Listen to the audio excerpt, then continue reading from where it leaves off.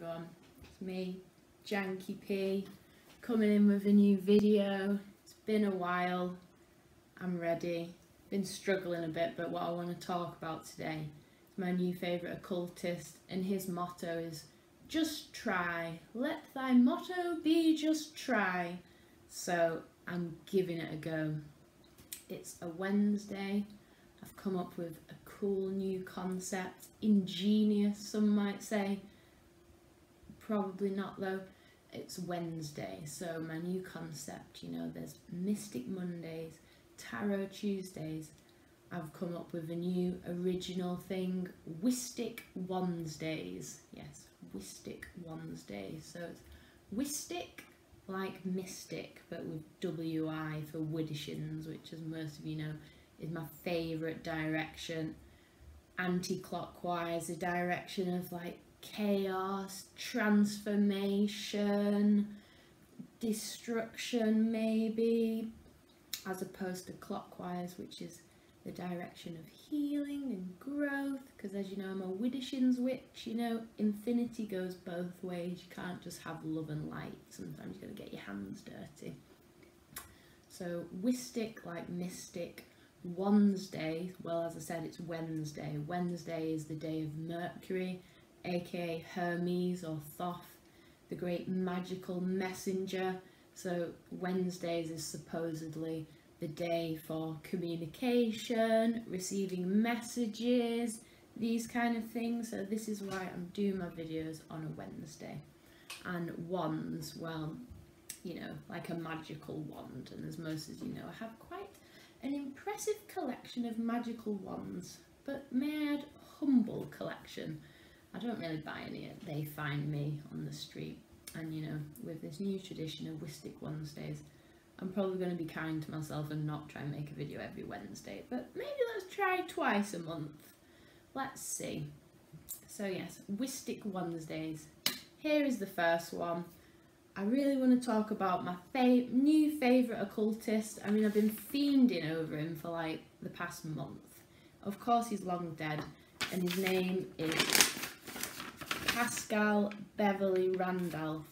Black occultist. He lived in the US from like 1825 to 1875, which was like Civil War era. He was friends with Abraham Lincoln, sex magician, medium, founder of like Rosicrucianism in the US, one of the first people to introduce ideas of sexual magic. Some people say that Helena killed him with um, black magic and then stole all his ideas. So there's a lot to like about this guy. He was an outspoken abolitionist and his tale is very interesting. I was very excited to learn about him and this is who I want to talk about today. Before we dive in and hear about Paschal Beverly Randolph, for Wystik Wednesdays I want to like introduce you all to my magic wands each week so this is the one we have here. Get ready. It doesn't necessarily look majestic.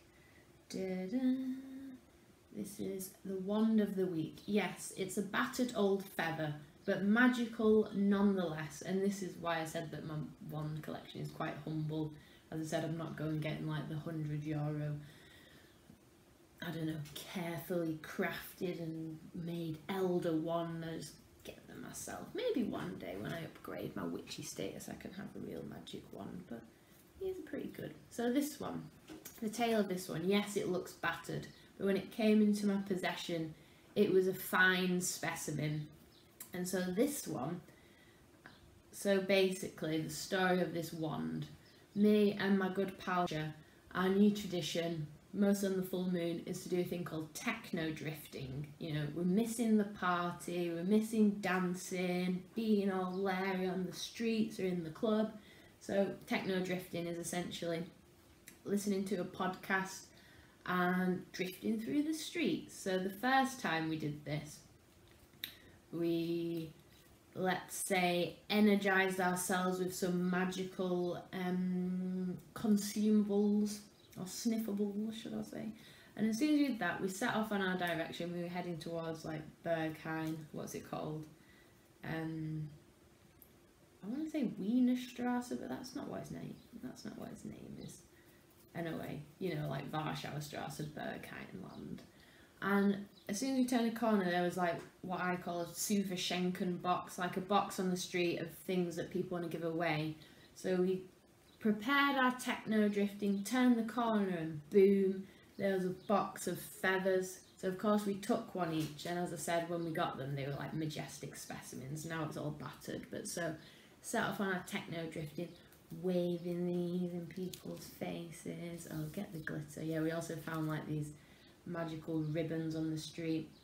And if any of you see me in a club, especially one with a garden party, you know I love to dance with a good stick in my hand. So we found these, it really helped with our dancing. And yet, it's all battered because by the end of it, so like we went round Berghain, we were dancing out the front.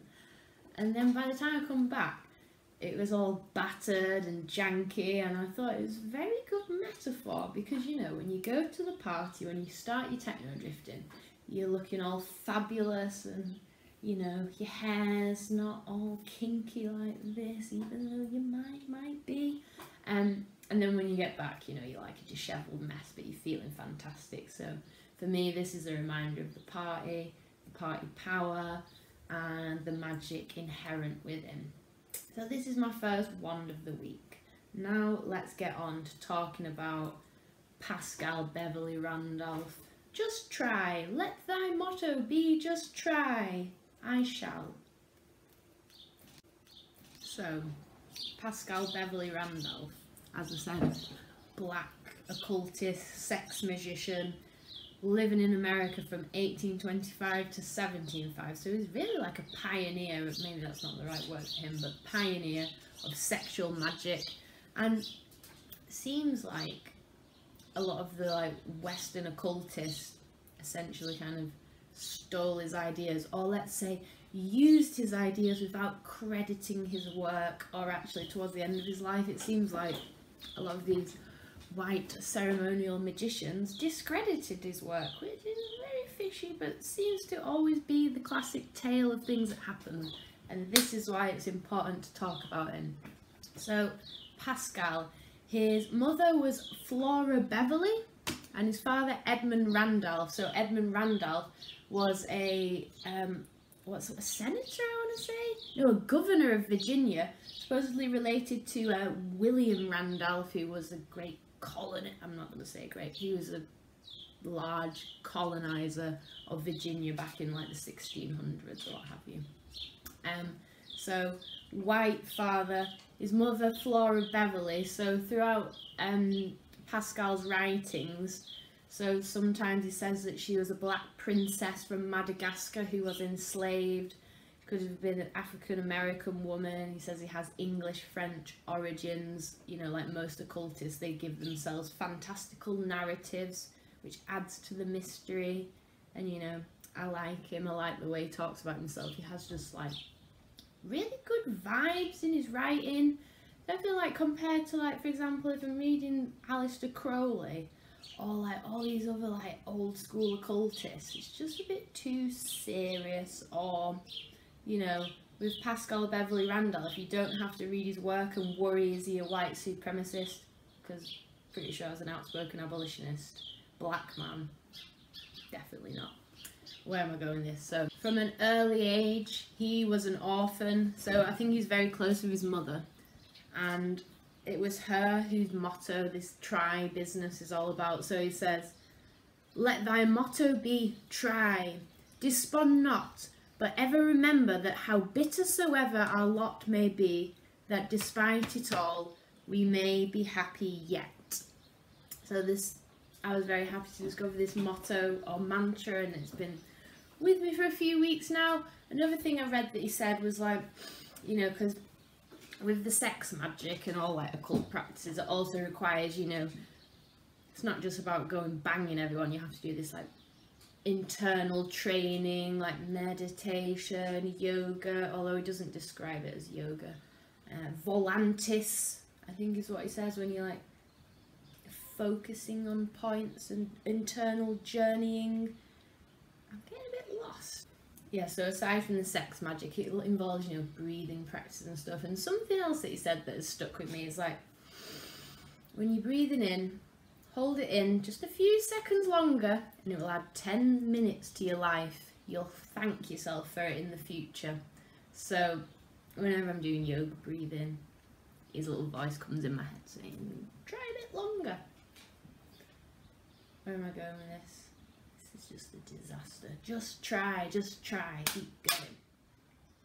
So, his mother died at an early age and he was essentially orphaned, or I'm not sure if his father, you know, like white governor of Virginia, probably didn't pay much attention.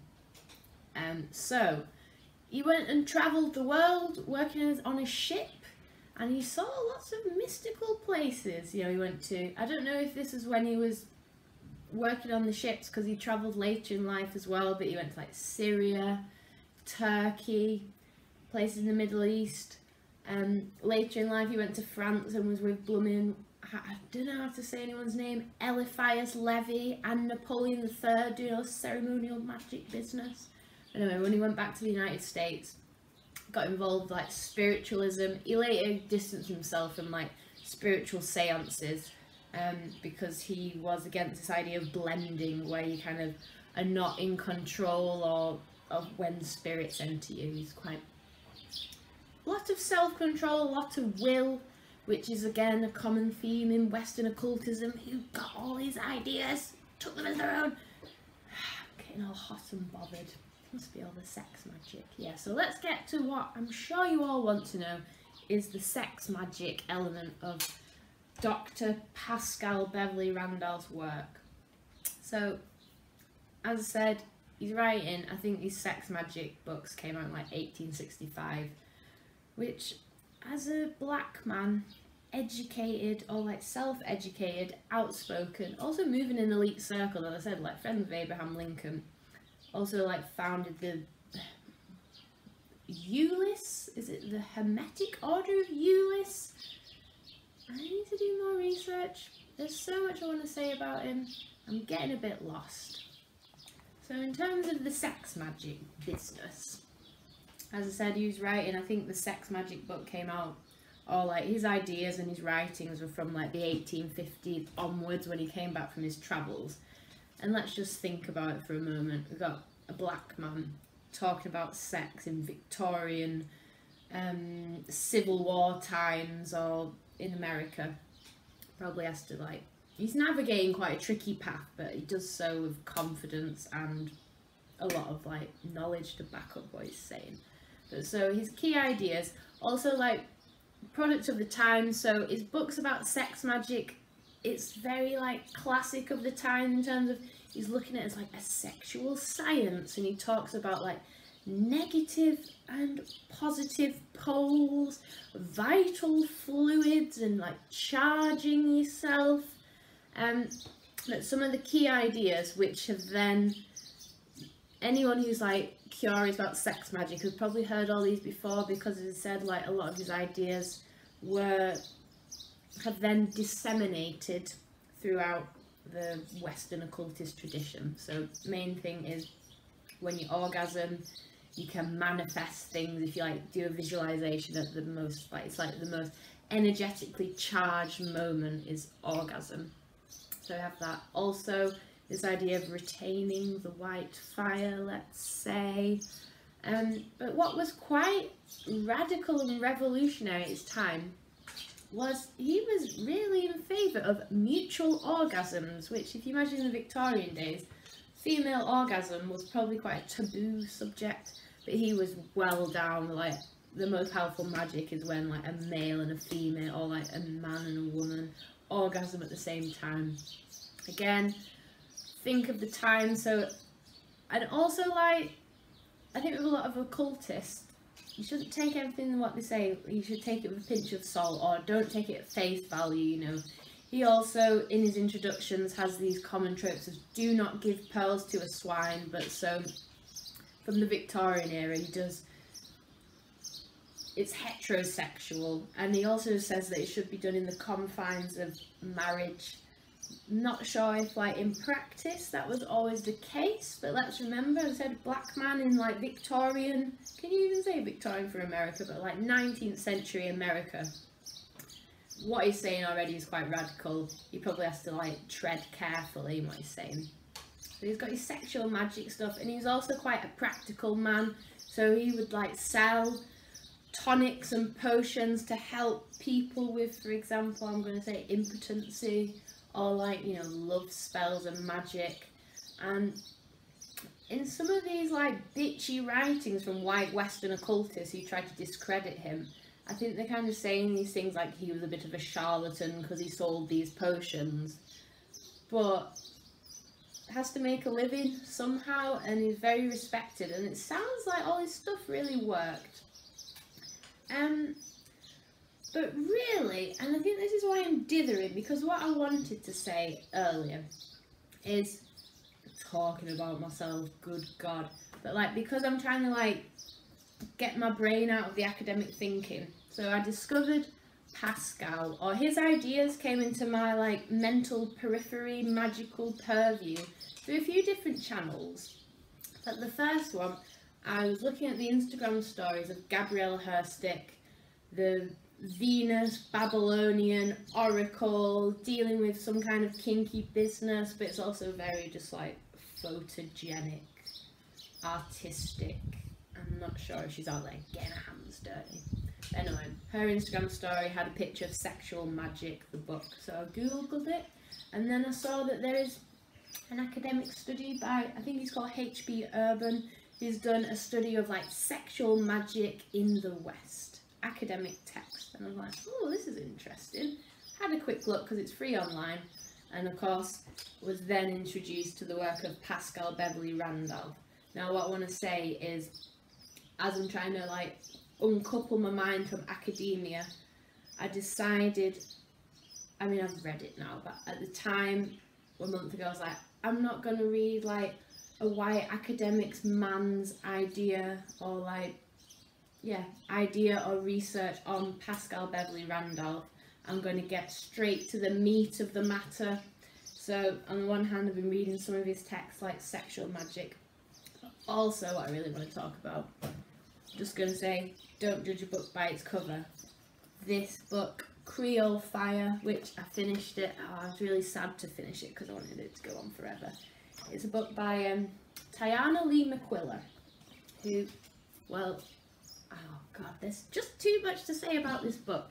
I really, really enjoyed it. It's like an imagined romance or like encounter between Paschal Beverly Randolph and the daughter of Marie Laveau, who, if you don't know, Marie Laveau was um, a voodoo priestess, let's say, an outspoken community leader, a mambo of New Orleans in the 1800s, and her daughter Philomene, is that how you say it? Philomena, Marie Philomena. Her daughter was also like a priestess and quite powerful in terms of like, on the one hand, magical practice, on the other like community organisation and leadership. So this book is an imagined romantical encounter between Dr. Randolph and the daughter Philomene. And yeah, as I said, trying to get away from academia. Reading this book, okay, so there's no historical evidence that the two met, but it's just a really great way to immerse yourself into this world and like have the characters and the spirit of the people there with you. You kind of walking with them as they're going through like their day-to-day life. And it's also just a great educational tool. I've learned a lot. It's complicated people's characters. So what year is it set in? 1864. So this is like peak Civil War times and for example there's some I'm getting distracted by the words. So for example, there's two people in here who are like um, Creole, which I guess means like mixed race. I'm not sure if that's really the correct term to use anymore. Uh, slave owners, so non-white slave owners, and it just like just the characters. You know, you meet Marie Laveau, you meet Dr. John, all these occult figures. It's also written as kind of poetic prose which is also how many of um, Paschal Beverly Randolph's texts were presented. So I would recommend this very much. I'm gonna stop, it's too hot. Okay, last words on Paschal Beverly Randolph, or I'm gonna tie it together before the sun blooming melts me. So, this book by Tayannah Lee McQuillar, as I said, um, Paschal was coming to me through a few different channels. So, first discovered him through Sexual Magic Book. And I was like, the name rings a bell. And then I remembered about Tayannah Lee McQuillar. So I listened to an episode of The Witch Wave, this podcast with Pam Grossman, who I've talked about. She has great guests, asks great questions, but it's a little bit commercial and a little bit twee. But so the episode for this is from like November, I'll post the link below. Where they talk with Tayannah, who is from the United States, African American woman, does research on, um, for example, and research and practices like root work, hoodoo, also has made uh, two tarot decks. One is the Sibyl's Oraculum, which is looking at um, the oracles of Libya, who predated like the oracles of Delphi and stuff, and they were women. So that tarot deck is beautiful. And also, she has the Hoodoo Tarot, which after listening to this podcast episode, I had a long think of myself of whether I should, but I did end up getting the Hoodoo Tarot because, as I said, both these books are great sources of knowledge and wisdom, which you're probably not going to find in the, I was going to say, dusty shells of academia. So, as a learning tool, these are fantastic, and I'd like to talk about this a bit more in one of my next videos where I talk about like cultural appropriation and my use or ownership of such tools and whether it's problematic or how we can have a kind of um, ethical practice of using these things. And for example talking about Paschal Beverly Randolph as a white woman. Um, so where am I going? So I already had the Hoodoo Tarot. And I was like wait a minute I heard this name before on the same podcast. They do talk about this excellent novel Creole Fire which I enjoyed very much. Thank you Tayannah for sharing this magical beautiful tale and encounter with us all now I've got something burning in the oven, so I better get going, but I shall see you next Wednesday, all of you, or in the astral realm. Oh, didn't even get to talk about Helena Blavatsky, but I fear for my etheric body, but I'll just say Google how he died, the circumstances. I'll leave it at that. Bye bye.